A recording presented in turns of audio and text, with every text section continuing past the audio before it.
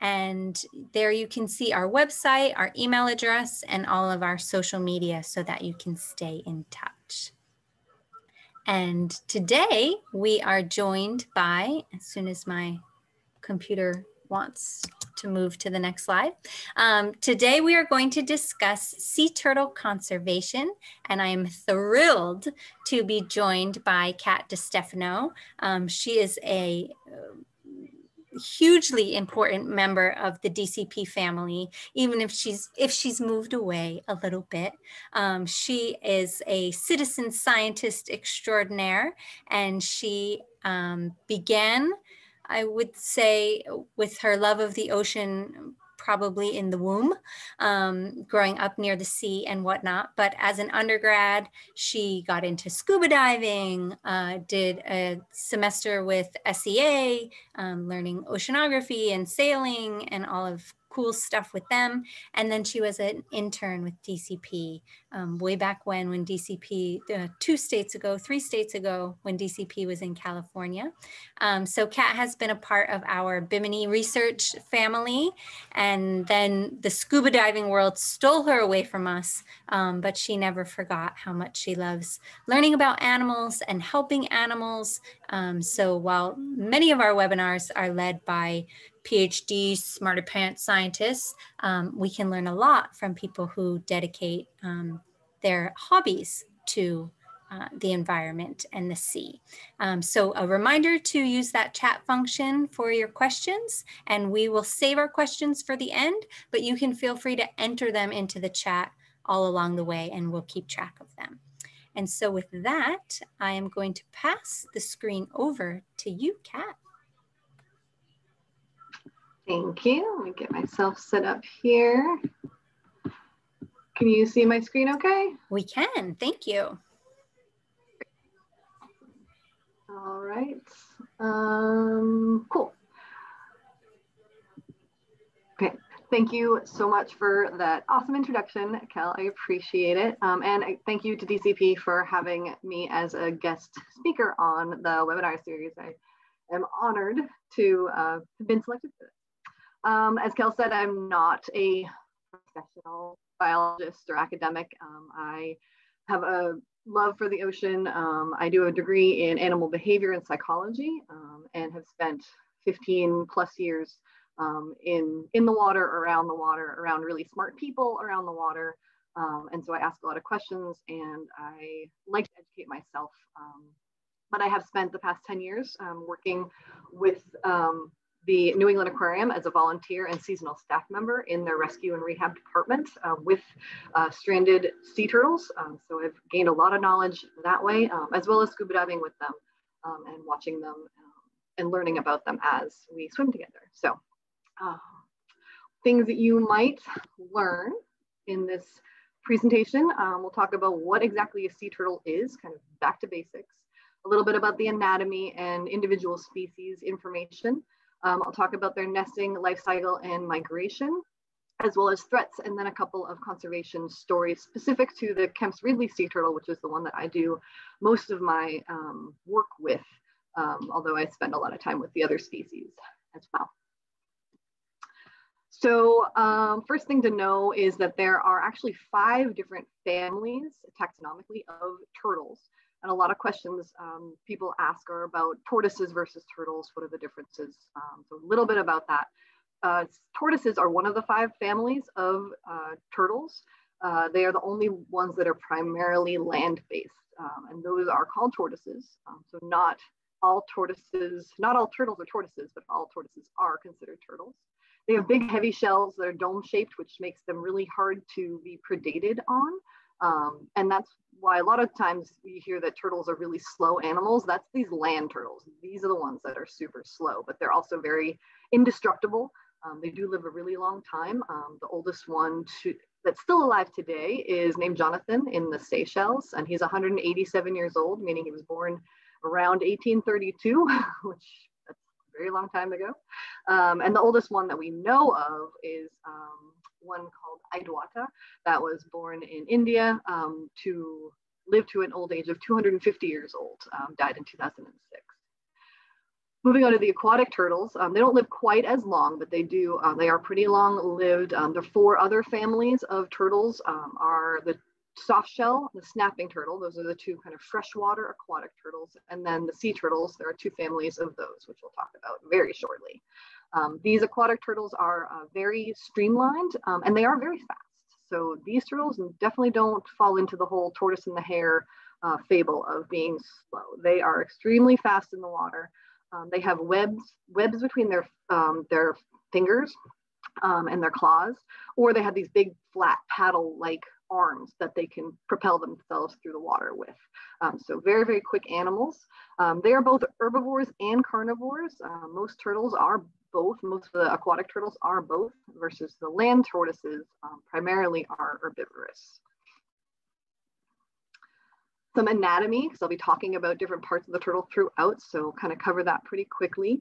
Um, the top of the shell is called the carapace, and it is attached to the bottom of the shell, which is called a plastron. Um, and in between the, turn on my laser pointer here, um, in between the, uh, on the shells, you can see on the carapace, um, there are these little lines that separate these plates.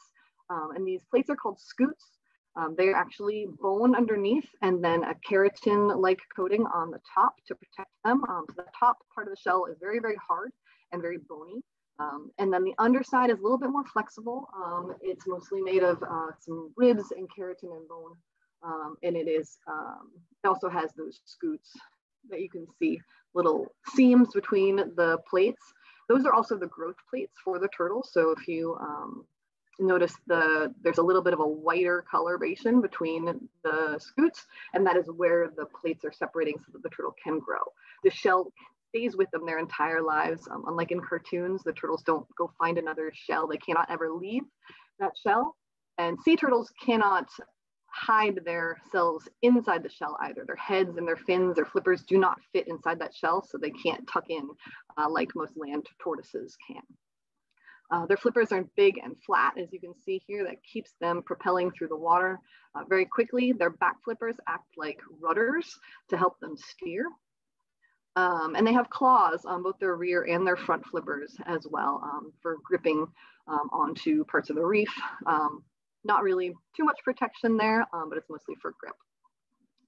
Um, you can tell a male from a female sea turtle um, when they get older. So on this turtle, uh, it's a little too small. Uh, it's usually, I'd say 10 to 12 years or older. Um, you can start to tell males from females. Their tail is kind of where they hold their, their sex organs. They have cloacas um, like birds do, which is one orifice for everything. Um, and if the tail extends out beyond the shell more than a couple of inches, then that's a male sea turtle. Um, and if it's only like an inch or two and it's a bit wider, then that is a female sea turtle once they're um, usually over, I would say, three feet, two to three feet, depending on the species um, in size. Sea turtles as a species are super old animals. Um, they've been found, um, there's fossils that are found most recently 145 million years old, um, meaning that they existed during the times of the dinosaurs. Um, and since that long ago, when you look at the fossils versus the turtles of today, not much has changed evolutionarily. A lot of the anatomy is exactly the same. So these turtles are basically, as you, you see them now, is how they have always been. Um, there are lots and lots of extinct species of sea turtles. Um, nobody really knows quite for sure how many there are, um, maybe somewhere in the vicinity of 12 to 13. Um, one of the ones they know of uh, was over 12 feet long, um, and it was called uh, called an archelon. Um, and there is a kind of comparison picture for you uh, so you can see how big the sea turtle would have been compared to this little scuba diver person here. Um, it's quite large. Um, if you're ever at the Georgia Sea Turtle Center um, on Jekyll Island, they do have, um, I believe it's a uh, jaw of, um, of them on display, and it's quite impressive to, to see the size of these turtles. Um, there's only seven species uh, that exist today. I'm going to talk mostly about five of them, uh, but this is a great graphic. It kind of shows you the size differences between them as well as the coloration. Um, a lot of times people have a hard time telling species apart um, because uh, it's the scientific papers say, oh, count the scoots, like count how many of these scoots there are. um, on each turtle, but I find it much easier to identify them based on their color and their size. Um, and if it's if there's any question, then you can fall back on the scoot counts as well. But this back background shadow here shows you the Archelon, which is extinct. Um, but then the next largest one is the leatherback sea turtle. Um, and that is the only one that exists in its family. I told you there were five families of turtles and there are two families of sea turtles. This is one of the families here is the uh, leatherback, um, the Dermochelys.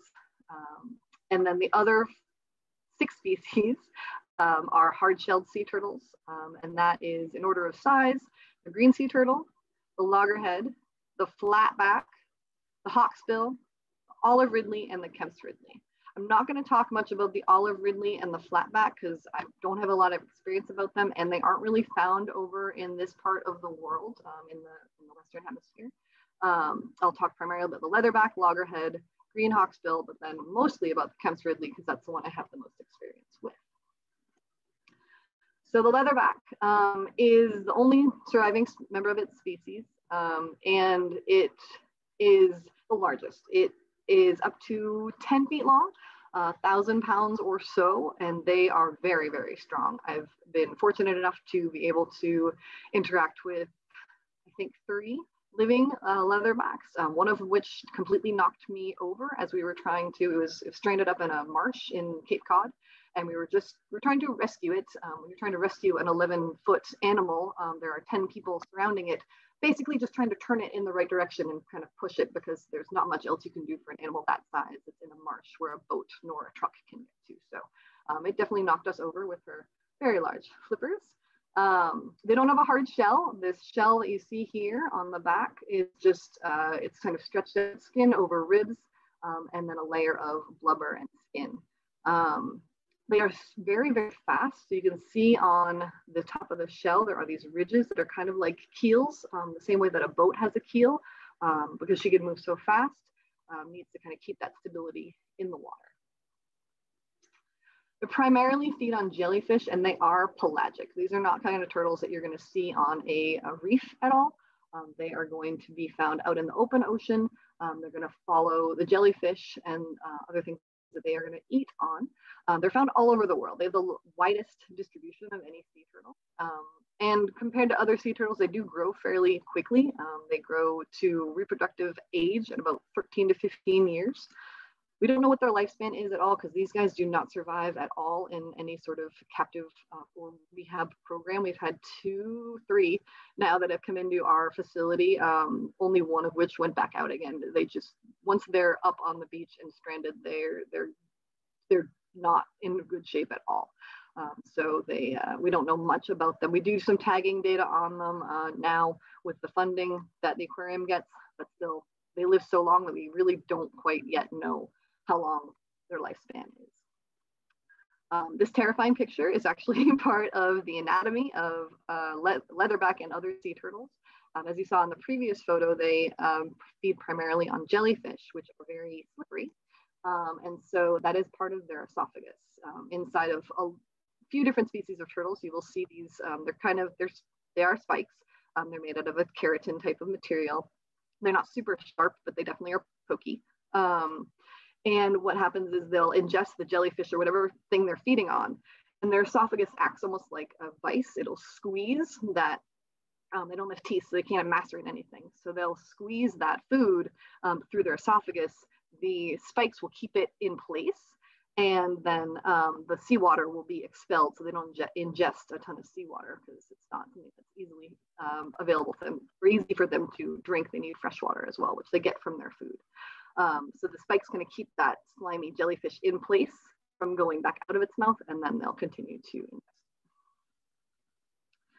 And the other four species of sea turtle I will talk about are part of the hard-shelled sea turtle families. Um, and these are bony, their, their uh, carapaces are bony, covered with keratin, uh, very hard-shelled, um, and that is the, we'll talk first about the logger, nope, the greens, then the loggerheads, then the hawksbills and the Kemp's ridleys.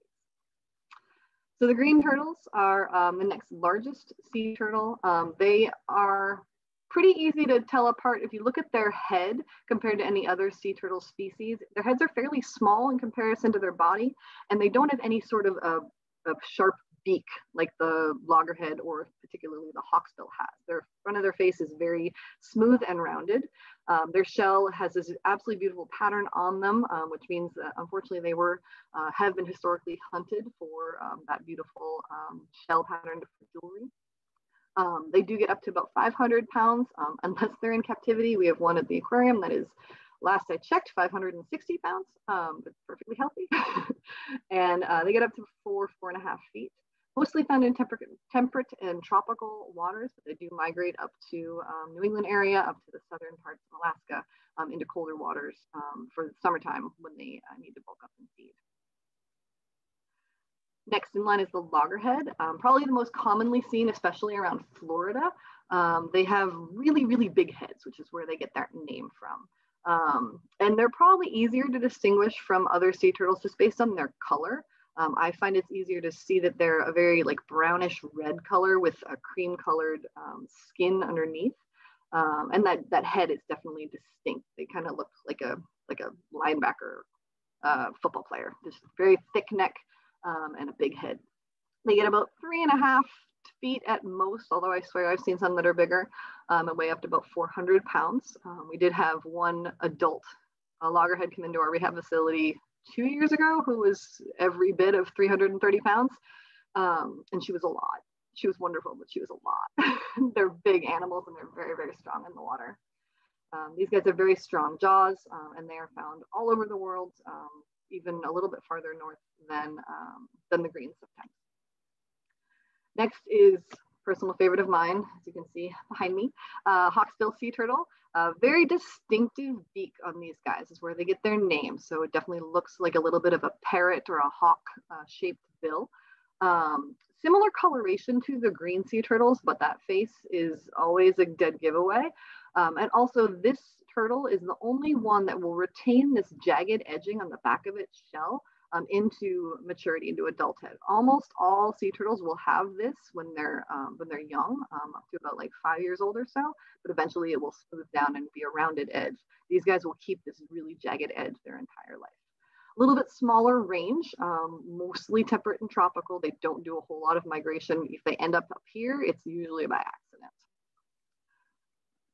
And then the Kemp's Ridley, which is the one, like I said, I have had the most experience with. Um, they are the smallest and the most endangered sea turtle of the seven species that are out there. Um, they're a little bit of a mystery uh, up until the 1960s. Nobody really knew too much about them. Um, it was thought that they were actually a hybrid species because no one had seen them nest, but I'll talk a little bit more about that later. Um, we have researched them pretty extensively. We think they live to about 50 years old. Um, they are primarily carnivores their distribution is the smallest of any of the species. Um, it's kind of, this map is a little bit small, but you can see they spend most of their time um, on the east coast of the Americas, uh, primarily in the Gulf of Mexico. Um, their coloration is very muted compared to other sea turtles. Um, when they're young, they have this very dark coloration on the top of their body and very light underneath, that counter shading, very similar to dolphins. Um, so if an animal were underneath them, they would just see their white belly up against the sky and if they were to look down, they'd see that dark carapace um, uh, as they look down towards the uh, darkness of the ocean. As they get older, a little bit lighter in coloration on top, but still very muted, not a super bright pattern like the greens or the hawksbill sea turtles. But their face does resemble a hawksbill, um, so they often can be confused with, uh, with them as well. Um, oh, they're named after um, Richard Moore Kemp, uh, who was the first man to have um, delivered a species, a specimen of this sea turtle to uh, Harvard in the late 1800s. Um, the Ridley is still a little bit of a mystery, but I will talk about that later. Um, so more about the Ridleys. They primarily live in the Gulf of Mexico. Um, this is where the juveniles and the adults all mostly hang out. They found all different um, age classes of them in this area. Um, so I live up in New England. Why do I work with the Kemp's Ridleys so much? Well, when they're little, The thought is still not quite clear how they get up here, but the thought is that there is a, um, most of the time they spend their time in this little gyre in the um, Gulf of Mexico. But when they're small, some of them wander off a little bit. And so there's this current that kind of comes up between Cuba and the Florida Keys that then meets up with the Gulf Stream current. And the Gulf Stream current comes all the way up the east coast of uh, Florida and all the way up to um, New England. So they'll ride that current all the way up and then it kind of eddies around up here in the Gulf of Maine before it kicks off over towards um, England and Europe. But once they get up here to the Gulf of Maine, it's one of the biggest, the most um, fruitful feeding grounds um, in the area. So it has tons of crab, tons of fish, lots of things that they can feed on. So when they get stuck in that current and they end up up here in the summertime, they're like, oh, cool, be food. So they hang out for a little bit. Instinctively, as the water temps start to drop, they're being told, hey, we should head south because water's getting cold. We need to get back to warmer waters where we won't be in any trouble because turtles are cold blooded. So they get all of their, um, their thermal regulation from their environment. Um, as the water temp drops, their body temperature cannot keep up. So their body temperature will also drop. So they instinctively will head south for survival. I don't know if you're familiar with the, uh, the uh, geography of uh, Massachusetts, but we have this unfortunate little cape that sticks out into the middle of the ocean. So as the sea turtles are following this shoreline all the way down to try to head south, and then they run into Cape Cod. They're like, all right, cool. Instincts are telling me I should head east to get around whatever this is. And they head east, they head into the Cape again. Their instincts never tell them to go north to go south. That is not even a computation in their brains. So all they do is kind of hang out and ping pong around in this area until the water gets too cold for them to actually survive um, in any way. And they sort of, their bodies just start to shut down. They go completely hypothermic. They float to the surface of the water and then the winds will blow them um, into the beaches. So starting around Halloween, late October, um, the Mass Audubon Foundation um, will organize an army of volunteers to start walking the beaches um, in Cape Cod. Uh, about an hour or two after each high tide, so sometimes they're walking at three o'clock in the morning um, to get these turtles up off the beaches. And they choose the beaches based on the wind direction um, and the wind speed. And they'll go down there and um, pluck them out, out of the seabeds, the seagrass, um, or seaweed, or out of the, just off the beach itself really important to get them off the beach as soon as possible because while the water temp may still be in the 50s or so, the air temp in November in New England is not in the 50s. it could be in the 30s. And that could give them frostbite, or um, as you can see in this picture here, this turtle has some pretty severe frostbite um, on its shell. So really important that they get off the beach as soon as possible. Uh, then they are put in these banana boxes. Um, all of the um, grocery stores uh, up and down the Cape know to save their banana boxes and send them to Mass Audubon so that they can transport turtles in them. And then they are sent uh, to a warehouse in Quincy, Massachusetts, which is where I volunteer and occasionally work. Um, and this big old shipbuilding warehouse is filled with hundreds of thousands of gallons of seawater in many, many different tanks.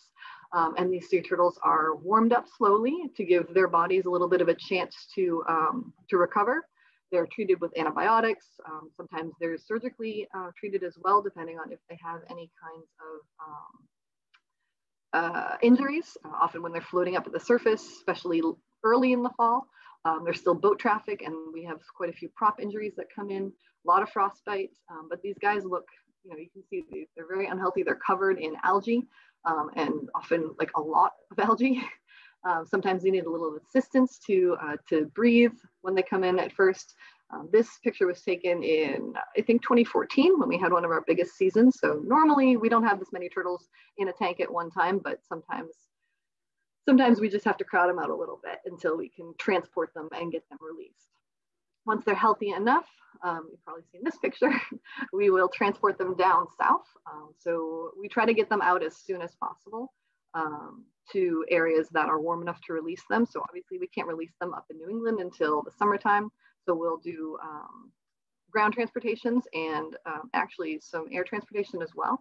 Down to Florida, um, the Carolinas, depending on where the closest, warmest water will be. Um, there's actually an army of volunteers, uh, volunteer pilots that has assembled that are now called Turtles Fly Too, and they uh, will use just their own time and their own fuel and come and pick up our turtles and fly them down to Florida and the Carolinas um, basically as needed, which is pretty amazing uh, to have. So see how different these turtles look now. Um, they're very, very healthy. Um, and then they get released back out into the water. This was down in uh, Georgia in, I think, 2014, 2015. Um, some of the turtles, if they're big enough, we'll put satellite tags on them. You can see here, um, the satellite tag is fitted on that turtle. Um, so we can get more data on where they go after we release them. Do they go back to the old feeding grounds? Do they come back up north again? We have had a couple of repeat offenders that have come into the aquarium uh, twice. no three timers yet, but we've had one or two that have come in uh, again to the rehab facility and we then send them back out again and hope that they learn their lesson this time. Um, that's a little bit about the rehab facility and what we do. Um, we currently, this year has been our biggest year ever. Um, I don't know what the number is quite yet because we haven't had time to breathe and count, uh, but somewhere in the vicinity of 800 turtles uh, came through our doors. Um, highest previous to that was 733, and previous to that was 242. Um, my first season in 2011, we had 35. so the Gulf of Maine is the warmest, the fastest body of water that is warming based on um, climate change. We think that has a lot to do with um, what's going on and why their why their numbers are increasing so much um, for our rehab facility. Uh, so that's one accidental migration that can happen with that particular species of sea turtle. Um, and oftentimes they're, um, they're migrating because they have uh, nesting grounds they need to get to. So usually annually or biannually, um, they will migrate to these different nesting um, beaches. They will always go back to the same beach that they were born on. Um, not much is known about how exactly they do that. Um, I think it has something to do with some sort of magnetic reading that they can do, um, maybe based on their use of the pineal gland, but it's definitely got something to do with um, the magnetism of the earth because it's it's longitudinally, um, they can, or lat- latitudinally, they can tell what beach or what part of the beach they need to go back to. So they have um, that um, beach fidelity for going back to the same place they were born. They figure, hey, if I was born here, something worked. I may as well lay my eggs here and maybe maybe my next generation will have a chance. Um, the floor in Florida, there are I think four, maybe even five species of sea turtle that will nest on certain beaches. And you can actually tell the difference between the species based on the crawl track. So this crawl track here, um, these alternating apostrophes are very indicative of a loggerhead sea turtle. So you can see here, um, this alternating apostrophe track here. Then the greens and the leatherbacks are very similar. Um, they look like giant tire treads, but because the leatherback is so much bigger than a green sea turtle, by the width of the track, you could tell whether it's a green or a leatherback um, sea turtle crawl. How they decide what beaches or how they decide where to nest, um, they will wait, most, most sea turtles will wait until nightfall and they will head for uh, tall, dark silhouettes, whether that is vegetation or dunes or just low brush or even tall buildings. Uh, they don't necessarily head for the light of the moon or head away from the light of the moon because they will nest on moonless nights, uh, full moon nights. It's just basically they look up towards the sky and look for dark silhouettes, which is not what they're going to see over the ocean typically. Then once they find their area up above the high tide line, they will start to dig a, a wide, shallow hole with their front flippers. Um, and then they'll move up and they will start to dig a narrow, deep hole with their rear flippers. While they're digging this hole and laying their eggs, they go into a little bit of a trance. Um, they're completely unresponsive to external stimuli for a little bit.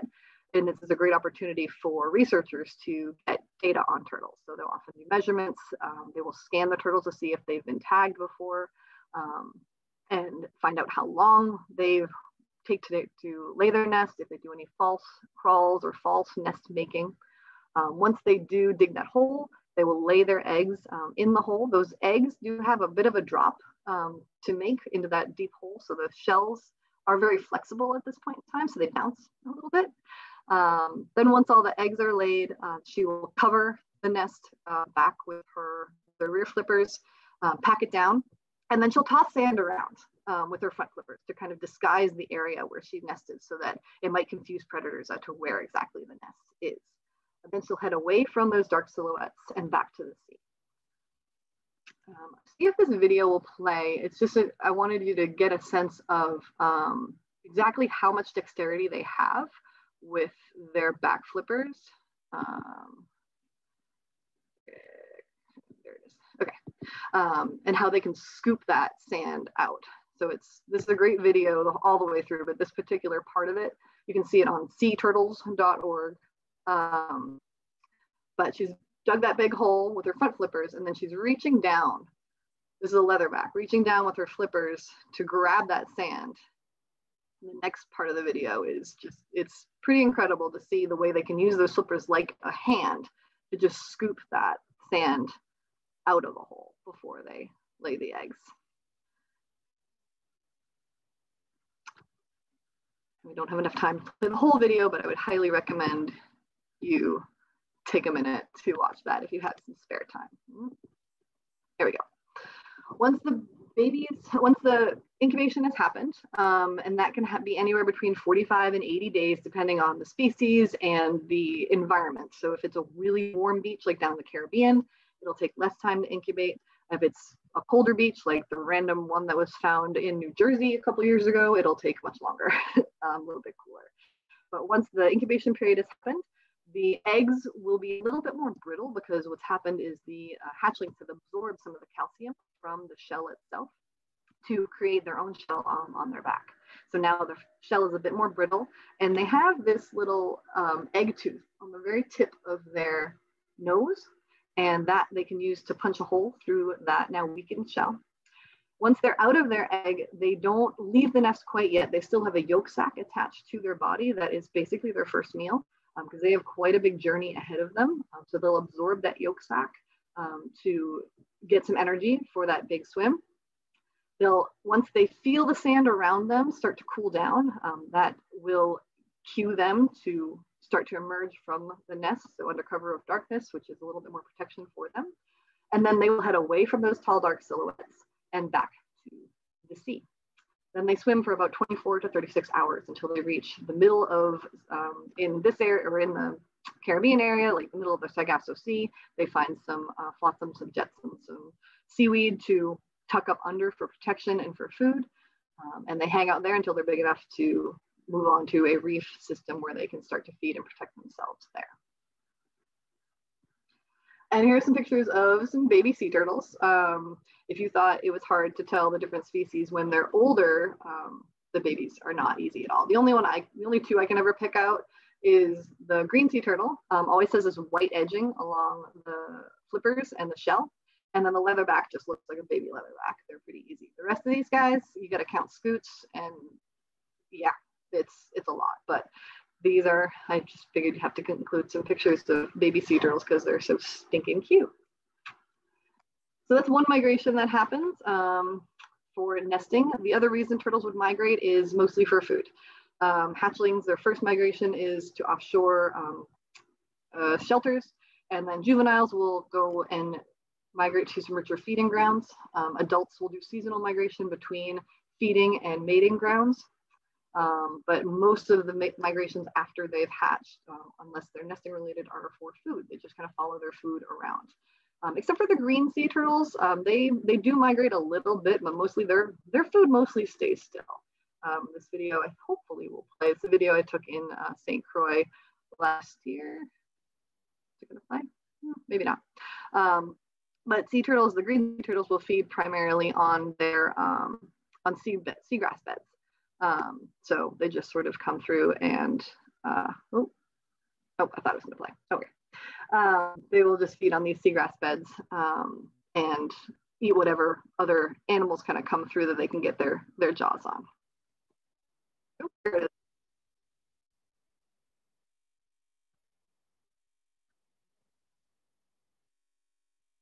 and what they do is they just graze. They don't necessarily take out an entire grass bed. Uh, just sort of take off the tender ends of the grass and they will, um, it actually helps the grass to uh, come back even quicker by the turtles feeding on them. All right, I think I have enough time to tell a quick story about another story about chemistry of the turtles. Um, they're absolutely fascinating turtles. Um, I love everything that I've learned about them so far. Um, so the Ridley part of the name, um, we think comes from them being such a riddle to, um, to scientists for so long. So they were definitely a myster mysterious turtle up until about the 1960s. Uh, scientists thought that they were just a hybrid of a couple different species of turtle uh, because they could not find where they nested. Most of this, what we knew back then about sea turtles was from where they nested, all up and down Florida and parts of uh, the southern east coast of um, the United States. We could tell, you know, oh, this is loggerheads, these are um, leatherbacks, uh, hawksbills, these all these nests that would happen in, in Florida in particular. But we never found a nest for a Kemp's Ridley sea turtle. So, well, maybe it's just, maybe they're just hybrids. However, they were seeing thousands of them in the Gulf of Mexico. So that doesn't really explain it being a hybrid if there's so many of them. Um, so then one nest was seen um, on Padre Island in Texas in 1951. Okay, so maybe it's not a hybrid, maybe they do nest, but where are these other turtles coming from? Mystery was kind of solved in 1961, I believe it was, when a um, doctor from Corpus Christi saw a home video that was taken in 1947 um, by a pilot who was flying over a beach in Mexico and saw what now we understand to be called an arribada, which is a mass nesting event that the Kemp's Ridley sea turtles do. Um, in uh, Spanish means arrival by sea. And what happened was it was this cloudy, windy, stormy day, and he looked down and saw this beach dotted with hundreds of thousands of sea turtles. And they'd all come up to nest in mass together, these Kemp's Ridley sea turtles. So he took this video, and then nobody saw it until 15, or nobody in the biological community saw it um, until 15 years later. So in the video, you can also see people taking the eggs um, at the same time. I'm not going to show the video, but if you want to Google it, um, it is a really incredible video to see. It's just really not great quality to show over Zoom, um, but I would recommend looking it up. Um, if you just look up um, Kemp's Ridley 1947, um, it'll pop up. Um, so that was found in Rancho Nuevo, Mexico. Um, and in the 1960s, we were already starting to see habitat destruction and nest destruction as well um, 90% of the nests that were laid in that area when they went down to Rancho Nuevo to investigate. Um, they noticed that the nests were just being destroyed by harvesters, predators. No one was protecting the beach at all. So in 1966, um, the Mexican government was finally convinced to protect this beach, um, and they literally brought in the military to do it. Um, they came down, the poachers were, were shooed off by armed guards. Um, and at that point in 1966, there were only 1,300 nests um, down from the estimated 40,000 that were uh, seen in that video of the flyover from 1947.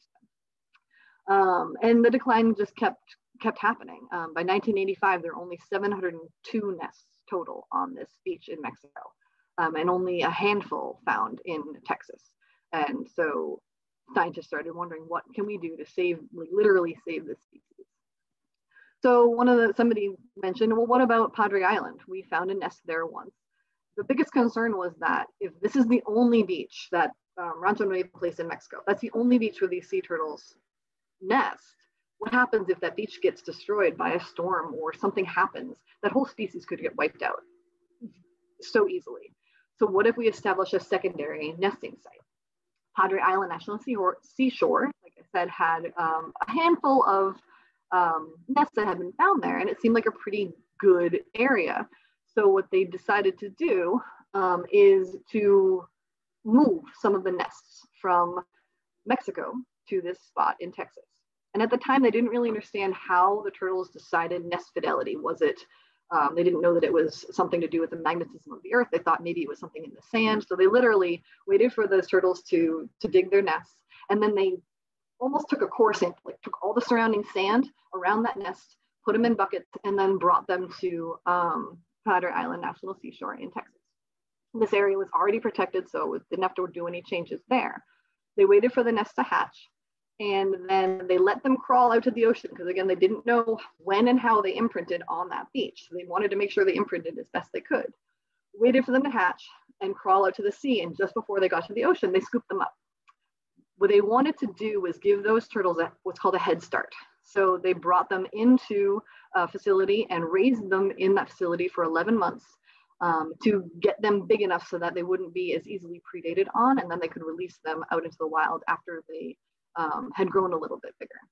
Before they released them, they gave them what are called living tags, which meant that they took a piece of their plastron, the lower part of their shell, and transplanted it to the upper part of their shell. So it ended up being like a biological tag instead of a metal tag or something that could eventually cause them harm as they grew. Um, thinking that that white spot would grow along with them and that would make them easily identifiable if they were to ever come back to that beach. Now it takes sea turtles 15 to 20 years to actually get sexually mature to return to a nesting beach. So then they had to wait to see if their experiment worked. First, the, the first live tagged turtle, as you can see here, there's that, that tag there, uh, was reported in 1996. There were two, yay. 1997, there were zero. And then 98, there were 13. 1999, there were 16, and the numbers kept increasing. So what they did was working. Not only that, but because they had protected the original beach um, with the armed guards and turned it into a national seashore as well, everything started to turn around for this, this sea turtle. In 2009 was the initial peak of the nesting, um, which they had 20,000 nests that were counted. Um, that includes Texas as well as um, the original nesting site in Mexico. And that was including 200 sea turtles at uh, Padre Island uh, National Seashore in Texas. So that's quite a quite a bit of a jump. Um, there was a little bit of a fall off in 2010, and if you remember, if anybody remembers what happened in 2010 with the BP oil spill in the Gulf of Mexico, that makes sense. But since then, it has continued to increase. They are still monitoring, and um, this is a very happy graph. Um, this top graph is the number of nests in Texas, um, and it's broken down into um, ones that have been live imprint or that were the head started turtles, um, and then wild stock as well. So up to 210 nests um, in 2013. And the latest number I could find was 2017. They had 353 at that site in Texas. Um, and then the bottom graph is the number of sea turtles in Mexico, which has jumped to uh, almost 22,000 nests. Um, and 24,000 was the latest number in 2017. They haven't done the numbers for 2020 yet, but conservation works. That's the key to that, um, those slides and the story of the Kemp's Ridley uh, species that we almost lost. Um, other species of sea turtles have lots of threats that they have to worry about. Um, the nests, it, it's through their entire life cycle. So the nests have to, um, if the turtle can't get up above the high tide line, um, they could be inundated by either water or, uh, or plant life or fungi. fungi. And you can see in this picture here, this is a sea turtle crawl that's going along a seawall um, somewhere down south that a restaurant or a hotel was built um, so that there is no, no sand above the high tide line. Um, so this turtle had to then go back into the ocean and try to find another beach to lay her eggs on. Um, habitat destruction is a huge problem with nesting. Uh, predators, humans, um, there's still uh, poachers that happen in certain parts of the world as well. And then once they're hatchlings, they are just they're snacks for predators. They there's some statistically two percent of uh, nests will actually survive to adulthood. Um, they have to worry about ingesting marine debris, little small little plastics, um, and also getting stuck in some of the finer mesh nets. The adults worry about boat strikes. Um, there's marine debris, not only ingestion at this point, but also entanglement in ghost nets or fishing line. Um, there's habitat destruction and their own foods habitat destruction as well as diseases. Um, and in certain parts of the world, turtles are still hunted. Um, it is becoming less and less popular, thankfully, um, but they have historically and are still hunted for their meat, their oil um, for the leatherbacks, um, and their shell for jewelry as well all sea turtles are considered um, some level of threatened. This is uh, this is still accurate. The critically endangered is the Kemp's Ridley and the hawksbill. Um, endangered, the loggerhead and green are still on the I think the global endangered list, but locally, um, I believe the greens and possibly even the loggerheads um, have been delisted in Florida, which is great news. Um, again, conservation works. Um, and then vulnerable and threatened are the leatherback, the flatback, and the olive ridley that are um, in different parts of the world. Um, conservation efforts that have been working, the Endangered Species Act um, is always a, a, good one to cite, as well as CITES, which is the Convention on International Trade and Endangered Species. Um, that's the group that's in charge of deciding what animals should stay on, come off, um, or move down the endangered species lists globally. Um, problem with any of this though is there's no there's no global police, no one to enforce any of this on a international level. Um, so it really comes down to local regulations um, and local enforcement. Um, one of the big success stories has been uh, in Florida, where home construction has um, kind of made new home construction move away from the ocean. Um, and Florida's been really good about nesting beaches, keeping uh, lights off in certain areas during nesting season. Um, there's been a lot of efforts in fishing as well um, for avoiding bycatch of sea turtles. There are um, turtle exclusion devices on dredges um, and nets that basically kick sea turtles out of any sort of dredge nets. Um, and a lot of the uh, dredgers do have observers on them from um, the fish and wildlife areas that will, if any turtle does come up in a dredge, they will make note of what species it is, what species it is, if it is harmed, if it can be released, if it needs to go to rehab. Um, and that is to not only help the turtle species, but also help the dredging companies to figure out more efficient ways to, to not affect the turtles while they do their job. Um, it's really hard to track the successes in these conservation efforts with sea turtles because they do uh, they do mature so late in life. So often we have to wait 15 to 20 years to see if what the conservation efforts um, are what are working. Uh, but so far, this seems positive. Something that you can do to help uh, personally, um, participate in coastal cleanups if you are able to, if you live near a beach or a marine or even next to a stream, cleaning up um, any sort of plastics or litter that can um, make its way down to the ocean. Um, if you have a boat or you are ever on a boat and you're fishing, making sure stay all your fishing gear stays out of the water unless you're actively using it to fish with. If you do hook a sea turtle, um, it's don't don't be ashamed, don't be embarrassed. It happens, um, but there are definitely phone numbers to call to report that. Um, even if the turtle is unharmed, oftentimes the um, the marine authorities will want to know like what species was it, how big was it, um, where were you, just so that they can uh, have that information for if something happens to the turtle later on, or just for general data purposes. Um, if you live near a beach or you're vacationing near a beach, trying to keep uh, any beaches in the tropic areas um, nest safe. So if you're building sandcastles or burying something in the sand, make sure you fill that hole in afterwards. Um, removing any beach equipment at night specifically and keeping the beaches dark during nesting, nesting seasons. Um, and always volunteering, uh, supporting local, local organizations that, um, that are supporting any sort of marine resource um, efforts as well. I like to try to do one small thing every day to help everything out in the ocean there. Um, reduce, reuse, recycle is the moniker that we all we all remember, but the reduce part is really important. Trying to reduce the amount of stuff that we, we use, and then reusing and recycling what we can. Um, trying to eat responsibly, um, not only fish but also other um, meats, vegetables, etc. You can use the Seafood Watch app to um, find fish that is harvested sustainably. Um, in a way that doesn't affect the marine environment as much as others might. Um, sunscreens are a big one. Uh, sunscreens can harm coral reefs, which are areas that sea turtles use for shelter and for feeding. So trying to use mineral-based sunscreens that, um, that don't have any uh, bad effects on yourself or the reefs. Um, and doing one, one thing every day to try to reduce your carbon footprint, whether that's just unplugging your devices when you're not using them, walking to the store instead of driving, um, just small little things that, that everybody can do to help protect not only sea turtles, but dolphins and marine life in general.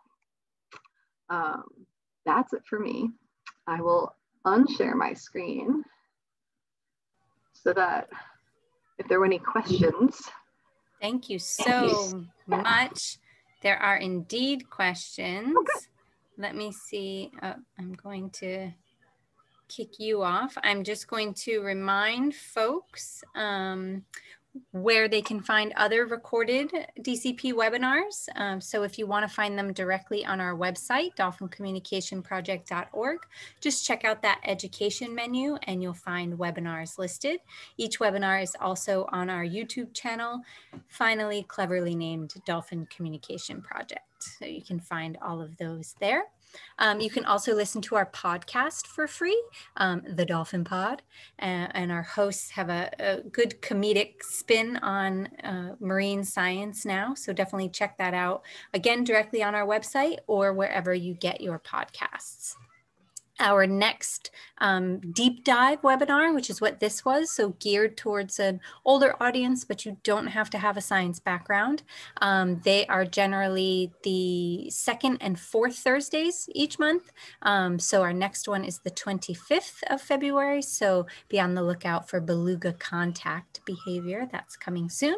And then we also have dolphin lessons, which are geared towards a younger audience, but we think everyone enjoys them. Um, and those are generally the first and third Tuesdays. So our next one is this coming third Tuesday. Um, so be on the lookout for dolphin adaptations coming next. And those are both at one o'clock Eastern time um, if you want to listen live. And then we absolutely encourage you to support sea turtle research and rehab and conservation organizations.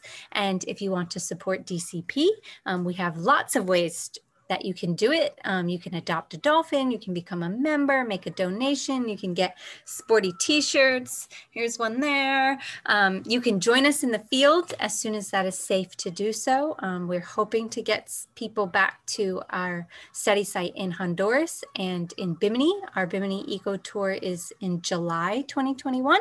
So if you're listening before that and you want to join, reach out and we'll let you know if we are um, able to do it safely and if there's spaces available available. Um, and a reminder of our website, our email address, social media. So please do stay in touch. Um, and with that, Kat, we will um, toss a few questions your way. Um, now I can't um, see my, anyway, I will leave that up. I remember my questions because now I can't find them on my screen because um, I'm so tech savvy. Um, but one of the first questions we got was about those impressive tortoises and their ages. How does one age a tortoise? How, how do we know that they're that old? So, from what I read about those guys, is that they actually the the one in India um, had caretakers that they passed on. Like they knew when that one hatched, and the caretakers, you know, nobody lived. One person lives for 250 years. The caretakers passed on the information um, mm-hmm. as as they went through the generations. So that's that's how they know with that turtle anyway. Um, and this is only known for the the captive ones, of course. So you can't really age a wild sea turtle um, like you can, uh, you know, with fish you can age them by their ear bones. Um, or in with size, sort of by sizes, because um, one interesting thing about reptiles is they never stop growing. Um, they do slow down, um, but they don't ever stop growing. Um, but you can't really tell like growth rings or anything like that with a turtle. It's just the only way you'd know is if someone, hey, I remember that one, that when that one was born, or they're captive. Um, along those lines, when you showed us the tracks on the beach, which I'm going to have to get that chart for um, this coming spring and summer in Bimini so that we know um, what we're looking at. Um, can you use the tracks to then estimate the size of that female? I would say yeah, um, because basically their their back flippers aren't going to extend much beyond a couple inches. So if you can tell where the back, which ones the back flippers are going to kind of dig in a little bit more, and the front flippers will be a little bit more like wide and shallow. So if you can tell the back flippers where they end, you can get an estimate of the width, and that can kind of give you an idea of ratio wise what the length would be based on because we have a lot of data on on that, um, like how all the turtles that we bring in the house, we measure their width and their length. So we have a ton of information on that. So yeah, I would say you could. Cool. Um, and here in Bimini, of course, I'm thinking about all the, the turtles we see when we're out on the boat. Kat joins us out on the boat sometimes. Um, when I see that little head with that pointy face, take a breath, I'm like, oh, it's a hawksbill. Oh, it's a hawksbill. Is it possible in Bimini that we're seeing a Kemp's Ridley sometimes, or is that unlikely? It's fairly unlikely. Um, most of them are going to be on the Gulf Coast of Florida. I think I just randomly read about one nesting in like around Vero area, hmm. maybe like the, the the what's it called, the Space Coast. Um, but that's a rarity. Most of the time, they're going to be on the west coast of Florida, east coast of, of Mexico, in that area. Um, so I would say probably not, but their heads are very, very similar. Um, I would look for that kind of the the dark.